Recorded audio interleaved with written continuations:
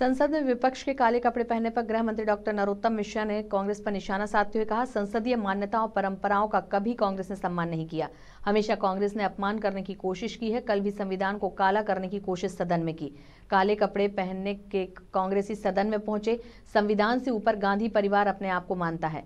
गांधी परिवार चाहता है कि उनके लिए अलग से संविधान बने और मोदी जी के होते हुए यह संभव नहीं है।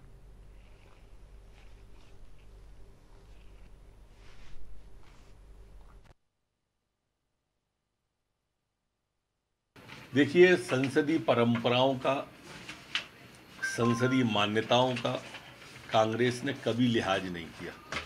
संवैधानिक संस्थाओं का, संवैधानिक पीठों का कांग्रेस ने कभी मान नहीं किया। सदैव अपमान करने की इन्होंने कोशिश की है। वही कल लोकसभा के अंदर उनका चरित्र दिखा। काले कपड़े पहन के आए थे तो संविधान को काला करने की कोशिश की। आसंदी की गरिमा को ठेस पहुँचाने की कोशिश की। ये अपने आप को न्यायपालिका से ऊपर मांगते हैं, संविधान से गांधी परिवार अपने आप को ऊपर मानता है। चाहते ये इस बात को है कि अलग से संविधान कोई गांधी परिवार के लिए बने।